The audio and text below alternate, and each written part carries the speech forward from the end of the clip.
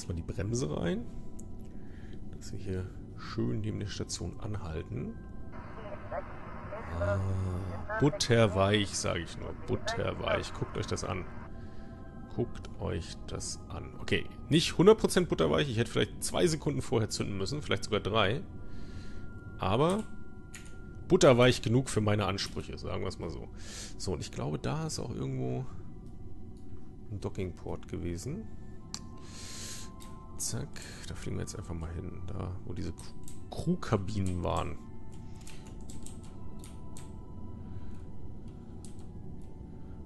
Dum, dum, dum, so, jetzt müssen wir nämlich einmal gucken, dass wir die richtigen Dockingports erwischen. Ich glaube, an den Crewkabinen, wenn ich mich richtig erinnere, hatte ich die normalen verbaut und in der Länge gab es die äh, Constructions, um später Sachen anzubauen. So.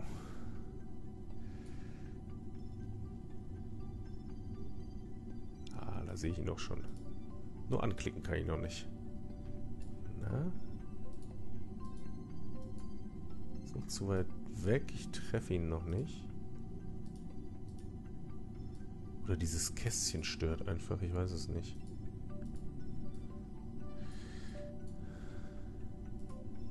Dockingport. Sehr schön.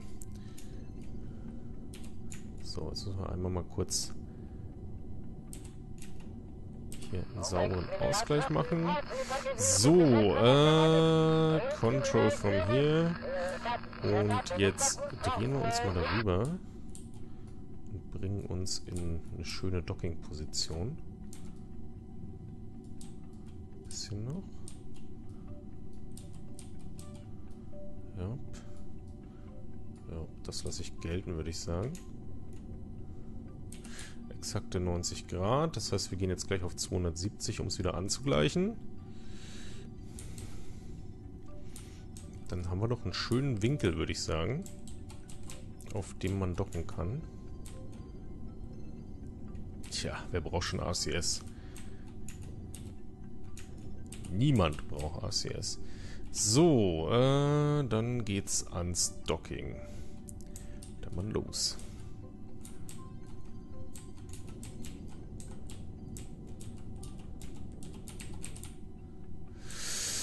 So, 50 Sekunden Zeit. Da können wir nochmal bremsen vorher, dann, dass das nicht zu knapp wird. Weil wir sind jetzt auch gerade ein bisschen schnell.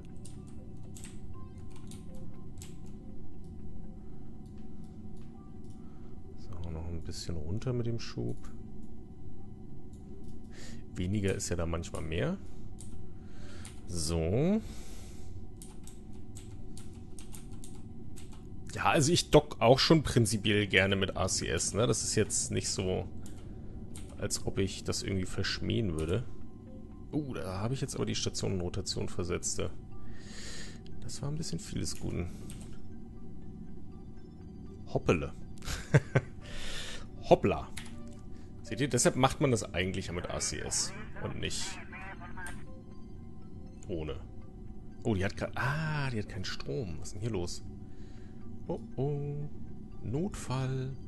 Äh, wir machen mal ganz kurz... Ja, was machen wir denn jetzt ganz kurz? Irgendwas müssen wir mal ausmachen. Sonst rotiert mir hier die Station einfach weg. Äh, was nimmt ihr denn jetzt so die Sonne? Ich selbst wahrscheinlich.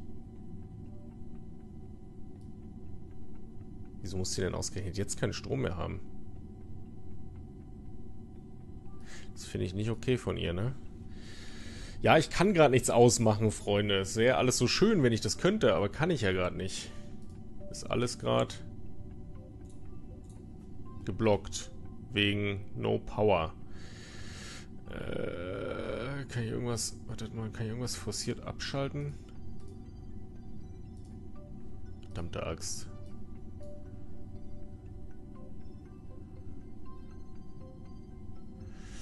Ja, die Fuel Cell kann ich ja auch nicht anmachen. Nichts kann ich ohne Strom. Nichts.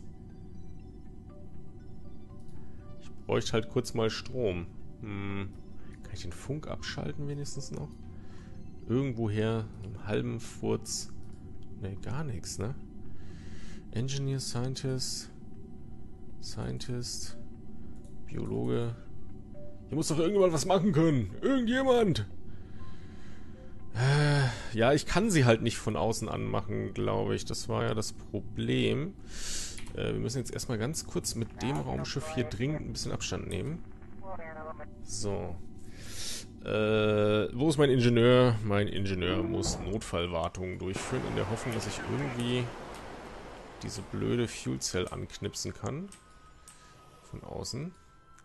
Was ist denn hier los? Mitten im hellen Tageslicht geht denn der Strom aus? Ein schwerwiegendes Konstruktionsproblem scheinbar.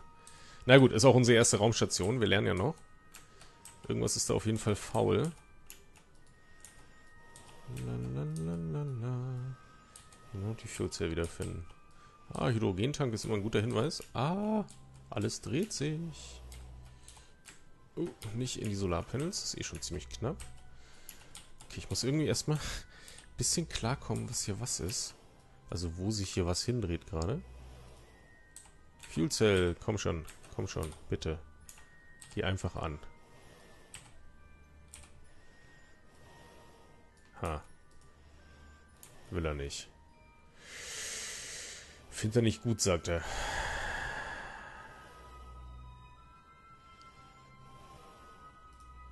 Hm.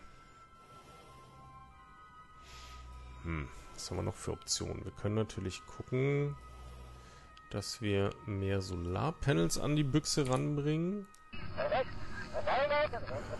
Das ist natürlich alles ungünstig gerade. Den Funk könnte ich vielleicht ausschalten, ja. Ich könnte ihn zwingen, die Antenne einzuklappen. Ja, irgendwie auch komisch, dass er... Jetzt ist er natürlich im Trudeln und kriegt selten bis gar nicht genug Strom rein. Oh, oh, oh, oh, oh, oh, oh, oh. Das war ein bisschen knapp. So, Antenne da hinten. Hm. Oder ich baue eine Batterie ab und lade die am anderen Raumschiff auf. Das wäre noch eine Möglichkeit, wenn das jetzt nicht reichen sollte. Ah, ich kann auch nichts von außen abschalten, ne? Ne. Gar nichts. Außer die blöde Antenne wahrscheinlich. Zapp. So, mal gucken, ob das gereicht hat. No. Okay, dann müssen wir den Notfallplan machen. Ich klaue mir jetzt eine Batterie. Hoffentlich, zumindest. So. Und steck die ein. Nehmen die mit hier rüber. Lad die am anderen Raumschiff auf. Damit wir ein bisschen Zeit haben, um irgendwas abzuschalten in der Box. Äh, was ist das jetzt für ein Kameramodus? Ein verwirrender auf jeden Fall. Okay, also, das ist natürlich schwierig jetzt. Aber interessant, das muss mitten, also es ist ja mitten im Docking-Manöver passiert, dass die Raumstation ins Trudeln kam. Ich bin mir nur noch nicht sicher, warum der plötzlich Strom verloren hat. Also wenn, dann musste er auf einem sehr dünnen Gleichgewicht geschwommen sein. So, jetzt kann der sich mal kurz aufladen. Mit seiner Batzi. Beziehungsweise können wir kurz mal... So, halt mal an. Jawohl. Kurz einfach aus anderen Batterien den Strom umfüllen, glaube ich. Oder ist hier gerade irgendwie eine Mondfinsternis oder irgendwas gewesen? Irgendwas muss ihn doch aus dem Tritt gebracht haben. Hat irgendwer... Also ich gucke jetzt übrigens mal gerade sehr bewusst auf den Chat. Hat irgendjemand von euch irgendwas bemerkt, warum... Also ich habe ja auch kein Solarpanel oder so kaputt gemacht. Eher nicht weitergemacht hat. Doch, die Station hat ein Kontrollmodul. Die Station hat hier vorne ein Kontrollmodul und da ist auch noch ein Probe-Core drauf. Hm.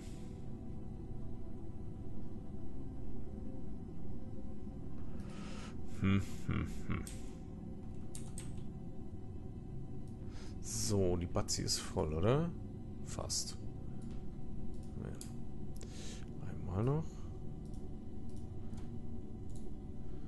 Gut. Das ist kein Kerbal im Kontrollmodul. Ja, aber äh, Freunde, der Strom ist alle, ne? Also die Stelle mit, die Station hat keinen Strom. Habt ihr schon mitbekommen, oder?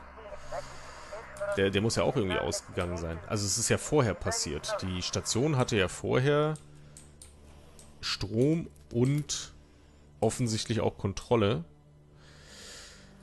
Äh, ihr, ihr versteht noch nicht, worauf ich hinaus will, ne? Also die, mir ist schon bewusst, dass die Station über den Probe Core gesteuert worden ist. Aber die Station war die ganze Zeit stabil und wir haben uns im Sonnenlicht befunden und sie ist plötzlich ins Trudeln geraten. Und ja, die Forschung läuft natürlich. So. Das wundert mich. Da muss ja irgendwas passiert sein, was das Ganze durcheinander gebracht hat. Gut, aber lange Rede, kurzer Sinn. Wir bauen da jetzt mal kurz wieder eine Batterie an.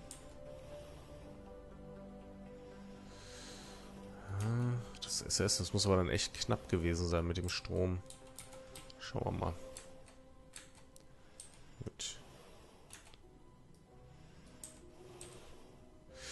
Müssen wir hier unbedingt, also wenn es wirklich nur durchs SRS aktivieren zu so einem fatalen Missungeschick gekommen ist. So, jetzt haben wir hier... Das ist falsch. Stop Research. Alter, was ist los hier? Warum, was verbraucht hier gerade so unglaublich viel Strom?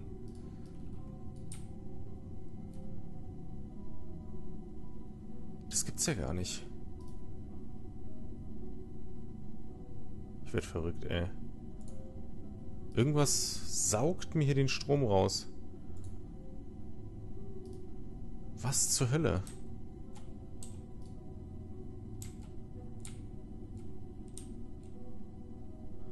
Ich verstehe es nicht. Ah, schon wieder vorbei. Oh, was frisst denn da so viel Strom? Ich habe alles ausgemacht.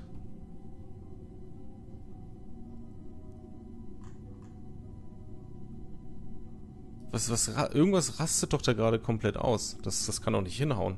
Ja, aber es ist doch nicht alleine das Recycle-Modul. Also, das ist ja unglaublich. Wenn das das Recycle-Modul ist, so eine Probleme hatte ich ja heute ehrlich gesagt überhaupt keinen Bock. Jetzt hier tausendmal Batterien aufzuladen.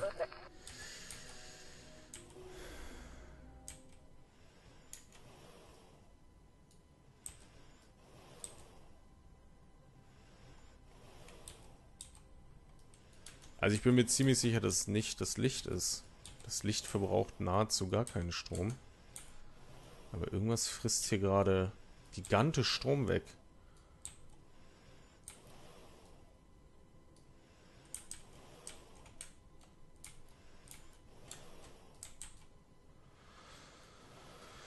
Also nochmal aufladen.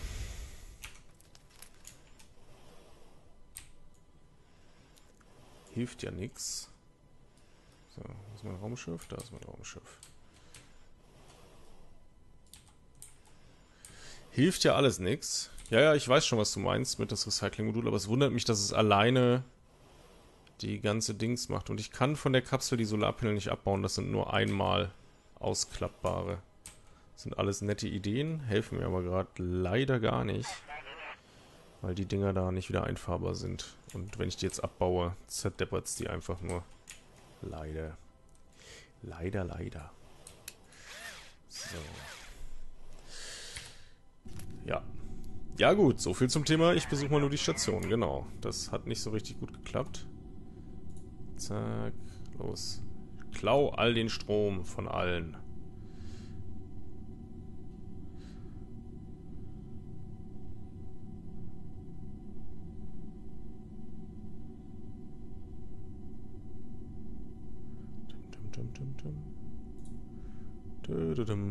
So. Trink mal kurz einen Schluck, während sich der Strom auflädt.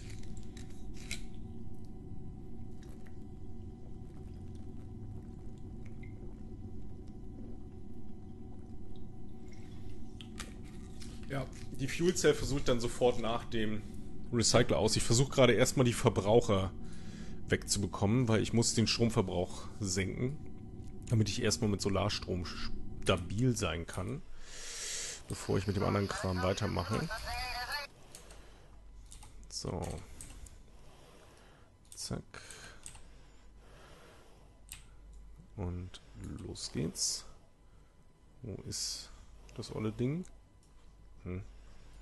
Ich glaube da irgendwo, oder? Hä? Wo ist sie jetzt hin?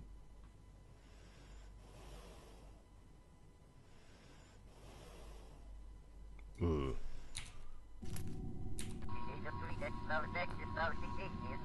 Ich war doch gerade hier unten drunter, oder? Hm. Bin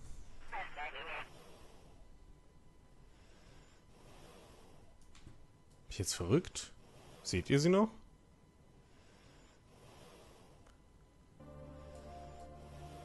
Wo ist sie hin?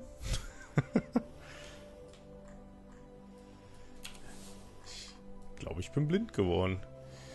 Im Weltall. Jetzt wird es auch noch dunkel.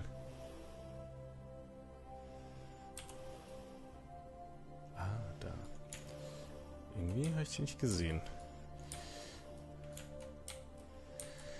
So, jetzt schnell, schnell, schnell, bevor die Sonne endgültig weg ist. Aber ein bisschen Zeit haben wir scheinbar noch.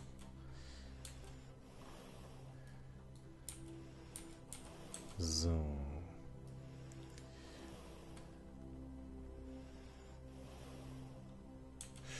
Keine Sorge, das ist nicht Whisky-bedingt, Yin. Das ist normale Verwirrung. Dafür, dass ich nicht mehr sehen kann, habe ich noch nicht genug Whisky getrunken. Nicht mal ansatzweise genug. So, jetzt müssen wir gucken, dass wir schnell dann den Recycler ausschalten. Und dann die Fuel Cell suchen. Wenn das Ding hier angebaut ist. Also, zack. Zack. Gut, als erstes mal Stop Live Support. Okay, damit haben wir den Recycler aus. Dann machen wir die Fuel an, sobald ich sie habe.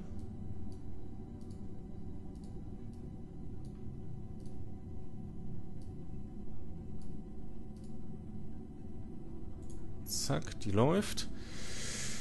Gut, haben wir das. Dann kann jetzt erstmal Freund Körbel, glaube ich, bevor ihm sein Scheiß ausgeht, zurück in sein Raumschiff, wo er eigentlich hingehört. Während die Raumstation erstmal stabilisiert wird. So, gut. Strom lädt also wieder. Hervorragend. Ganz, ganz hervorragend. So haben wir jetzt natürlich einen Tageszyklus. Oh, das ist nicht wahr, oder? ich glaube, jetzt sind die gerade alle durchgedreht, weil sie alle homesick geworden sind. Ja gut, dann können wir uns das jetzt mal in einer ungefährlichen Situation angucken, was das eigentlich bedeutet. Wenn ich das richtig verstanden hatte, sind die jetzt alle zu Touristen geworden. Uh, fliegen wir doch mal kurz zu der Station. Es wird Spaß machen. Es wird super sein. Es wird unglaublich, total cool sein. Die machen da nämlich Wissenschaft und so. Oder sie sitzen alle da, rollen sich zusammen und weinen ganz fürchterlich, weil sie nach Hause wollen. Ihr habt doch wohl nicht wirklich Homesick bis jetzt, oder? Reißt euch mal zusammen. So. Ah, jetzt wird auch wieder gearbeitet. Sehr schön. Sehr schön. Gut. Haben wir das ja auch geklärt. Live-Support an. Okay, jetzt gucken wir nochmal. Alles ist gut. Gut, gut, gut. Die freuen sich alle wieder. Meine Güte. So, jetzt müssen wir aber mal gucken. Insgesamt war das nicht so besonders genial. Vom, äh, vom Strom her. Es wundert mich, warum es vorher funktioniert hat. So, alle Habitate sind, glaube ich, wieder an, oder? Jawohl.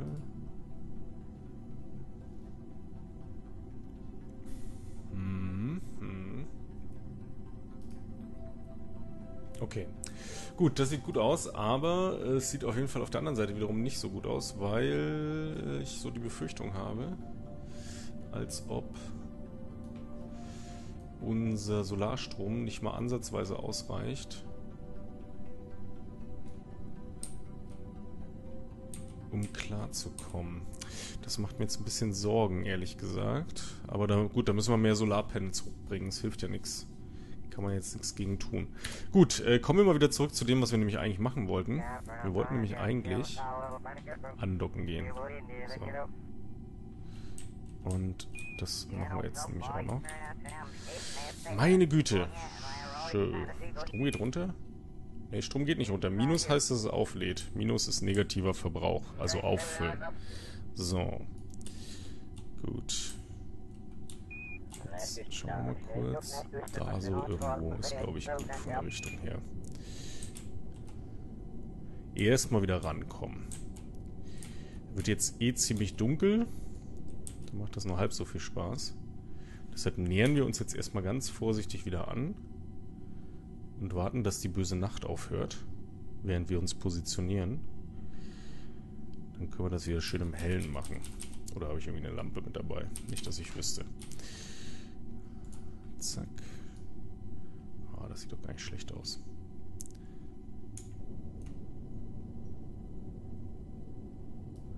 So, und da wollen wir nämlich hin. Das heißt, wir müssen jetzt einfach ein bisschen in diese Richtung hier fliegen. Ne? So.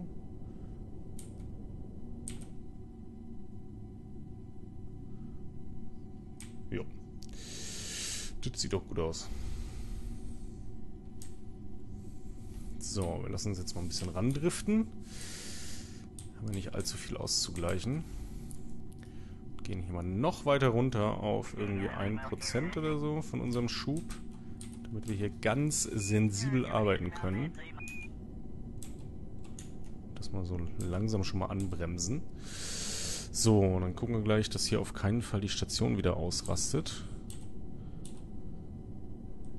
Aber eigentlich ist hell genug, ne? Seht ihr genug? Wenn ihr genug seht, ich würde das docken sonst. Kann man schon mal machen. Es geht.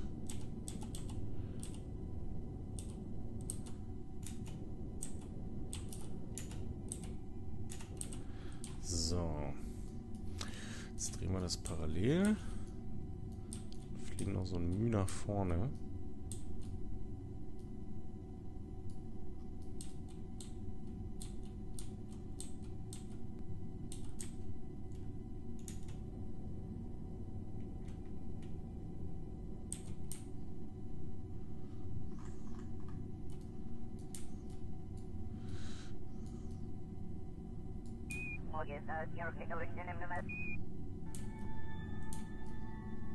So.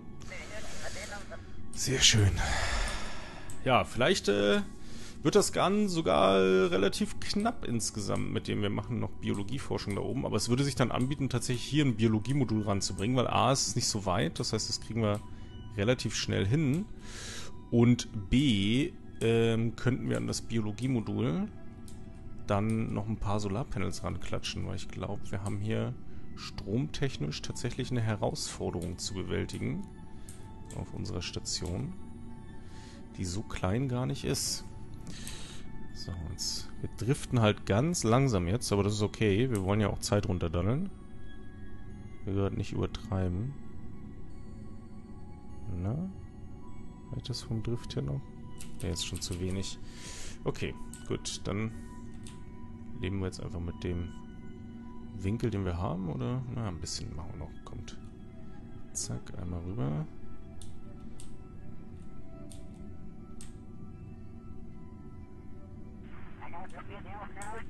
Bisschen müssen wir uns noch verschieben. Das wird sonst zu...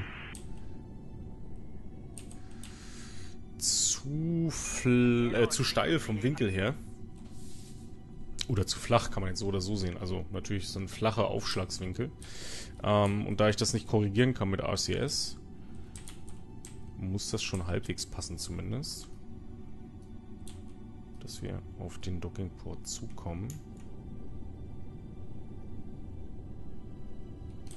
So.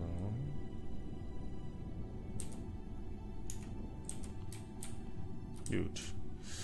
Und dann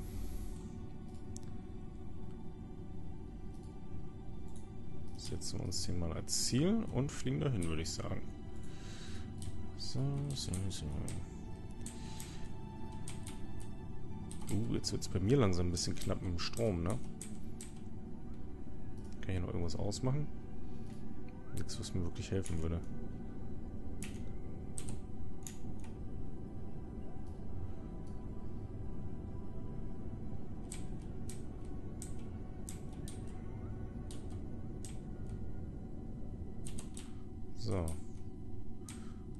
Jetzt heißt abwarten, würde ich sagen. Und wahrscheinlich, so wie ich das hier kommen sehe, haben wir nicht mal mehr Strom, wenn wir da ankommen. Das heißt, wir machen jetzt einfach mal ein Docking der Hoffnung. Kommt da bald Licht oder sind wir noch tief in der Nacht drin? Das ist schon noch ein Stück, ne? Äh, so gehen üblicherweise Raumstationen kaputt, habe ich gehört. Wir können natürlich ein bisschen gegenarbeiten oder zuarbeiten. Nennen das mal lieber. Control von hier. Macht mal kurz die Forschung aus. Oh, die ist noch gar nicht an. Macht mal kurz den Live-Support aus, dass wir genug Strom haben. Also. Control from here.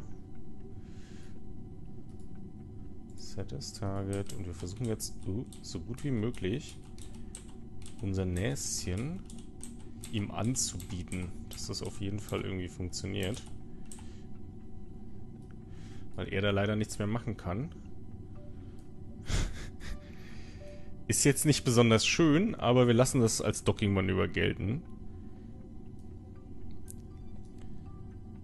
So.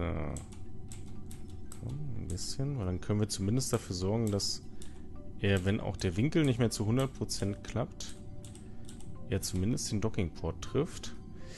Und dann müsste er eigentlich einrasten. Hoffe ich. Komm schon, jetzt kommt er ganz schön schräg ab hier. Hat schon einen ziemlichen Seitendrift. Komm, komm, komm, komm. Und angezogen. Jawohl. Okay, das passt. Sehr schön. Schwupp. Und damit haben wir die Rakete angedockt. So, kurz mal... Oh Gott, oh Gott, oh Gott, oh Gott. Durchschnaufen. Ist aber auch alles anstrengend heute. Was ist denn heute los? So richtig rund läuft das noch nicht. So. Vielleicht habe ich auch noch nicht genug getrunken. Das mag natürlich auch sein. Gut, das können wir mal ins Labor stopfen. Äh, Surface Sample, warum nicht ab ins Labor? Warum nicht ab ins Labor? Ab ins Labor, alles rein, was geht. Mal schauen. Wie gesagt, wenn wir alles noch reinbekommen, ist super. Wenn nicht, nehmen wir den Rest halt mit. Lab ist voll. Okay, dann wird der Rest nach Hause gebracht. Weil jetzt kann das Labor ein bisschen schneller arbeiten. Hm. So, und kann Forschungsdaten umwandeln. Wie viel haben wir denn eigentlich schon? 39, aber jetzt machen wir halt 8,6 Daten pro Tag. Ach, guck mal, da ist sogar noch Platz. Da sind noch... Oh, da sind noch gut und gerne.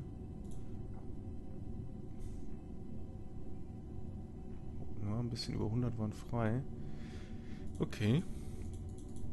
Ich glaube, jetzt müsste es voll sein. Hat man einfach nur ein etwas zu großes Teil. Ich glaube, so wenig gibt es da nicht. So. Äh. Ja, gebe ich dem anderen Körper Ich könnte die natürlich auch hier oben reinstopfen. Aber vielleicht will ich ja auch ein bisschen was direkt mitnehmen. Ah, die, es, es, ich kämpfe mit mir zwischen der Gier und jetzt Forschungspunkte zu bekommen, um vorwärts zu kommen, und dem natürlich äh, sinnvoll durchdachten äh, Arbeiten. Kann ich dich austauschen? Ich kann dich austauschen, Landing Crew. Willst du nach Hause fliegen? Möchtest du nicht mehr auf der Raumstation leben? Ich hätte hier einen Ersatzwissenschaftler, da könnte nämlich der Zwensen, nee, der Zwensen kann wahrscheinlich nicht, aber ich kann dich austauschen beim nächsten Mal, wenn ich eine Crew hier hochbringe. Das spricht natürlich nichts dagegen. Ähm, okay, Zwensen, äh, keine Sorge, du wirst auf jeden Fall früher oder später mal, also mit irgendeiner Crew dann nach Minus fliegen, aber ich park dich dann jetzt erstmal hier oben, damit wir den armen Landing Crew, der hat's wohl irgendwie Der schafft das wohl alles nicht mehr. Das ist ihm wohl zu viel. Den müssen wir wohl mit nach Hause nehmen. Der kann nicht mehr. Einfach kaputt. Einfach kaputt. So. Äh, Transfer Crew. So, Jensen, übernehmen Sie. Hier wird jetzt geforscht.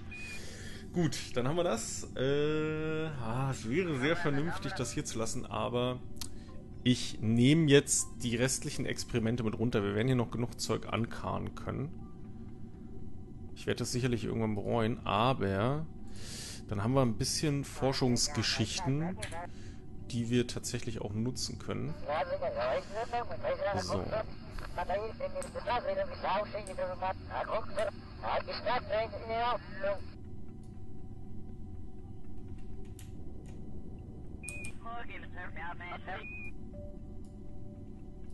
Swoosh! Ich liebe die Gefahr. So. Gut. Äh, Orbit Retro. Dann würde ich sagen, verabschieden wir uns mal von der Station. Ach, Mist. Ja, warum sagt denn keiner was? Ihr habt es wahrscheinlich gesagt, ne? Ich habe äh, das Essen gar nicht ausgepackt. Ah. Ah, ich wollte auch das Essen noch hier lassen. Na gut. Irgendwas ist immer. Ist da noch viel drin? Naja, geht so. So, ab nach Hause. Ich glaube, ich werde gleich mal den Antrieb ein bisschen aufdrehen. Jetzt kommen wir ja gar nicht weg. Hui. Heute wird hier richtig hardcore geflogen. So, und der Astronaut 012 ist jetzt ebenfalls ein tapferer Twitter-Follower, der sich das hier freiwillig antut. Hallo Astronaut. Und Prost an den Rest. So, kommen wir da runter? Irgendwo im Hellen. Das ist doch schön. Gehen wir auf 40 Kilometer und den Rest macht dann die gesunde Weltraumluft für uns. So, damit ist das hier auch suborbital und kann in Ruhe ver verbrennen. Wir haben hier auch nichts Schlimmes mehr zu tun, so wie es ausschaut. Ja, eigentlich. Jetzt nochmal checken. Wir hatten hier auch Fallschirme angebaut, richtig? Ja. Toggle Info. Zack, zack, zack. Copy. Und weg damit. Scharf machen. Scharf machen. Und nochmal scharf machen. So, damit sollte das Thema eigentlich äh, insgesamt passen. Ähm, und nee, mit den Data-Punkten, das ist nicht so äh, 1 zu 1. Man kriegt da hm, ich weiß gar nicht, wie das Verhältnis ist von dem Umarbeiten. Ich glaube, das hängt auch davon ab, wie gut die Wissenschaftler sind, die drin sind. Äh, jo. Aber ich müsste es auch nachschlagen, wie das Verhältnis zwischen Data und gewonnenen Science-Punkten ist. Es ist auf jeden Fall ziemlich... Also es ist besser, du kriegst deutlich mehr Science raus, als wenn du die Experimente einfach abgibst. So. Ich überlege gerade, ob ich mich schon davon trennen möchte. Ich habe ein bisschen Schiss, was passiert, wenn ich das Habitat jetzt abschalte dadurch. Ja, ich habe hier oben kein Habitat drin. Und meine Unterstellung ist natürlich, dass die lustigen Vögel dann alle in Streik gehen werden, weil sie mich hassen.